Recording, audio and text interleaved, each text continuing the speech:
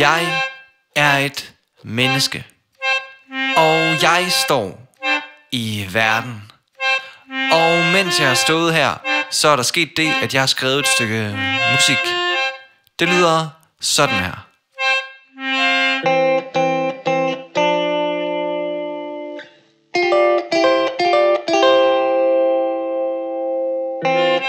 Er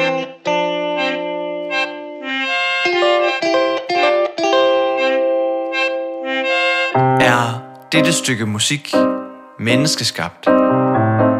Eller er dette stykke musik et naturprodukt?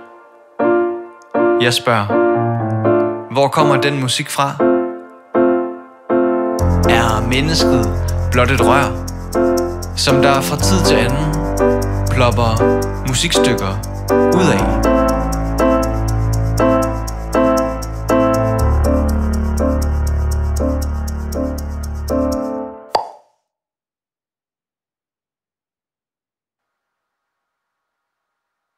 Nej, sådan er det vel ikke helt. For musikstykker vokser ikke på træerne. Musikstykker skal plantes, passes og høstes. Musikstykker skal fødes og opdrages.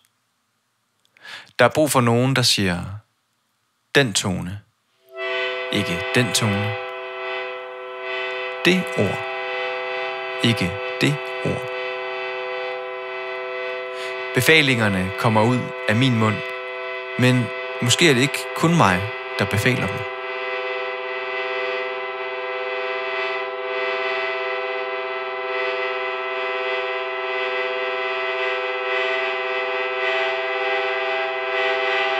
Jeg er lige vågnet op fra en drøm.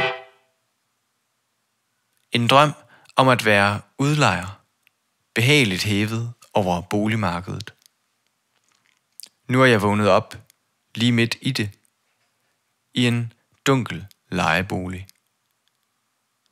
En vanvittigt kompleks bebyggelse, fjernstyret af dunkle kræfter. I min hånd har jeg en lejekontrakt, men jeg kan ikke læse det, der står med småt. Bogstaverne er nemlig så små, at man skal helt ned til atomerne for at læse dem. Og det kan vi ikke endnu.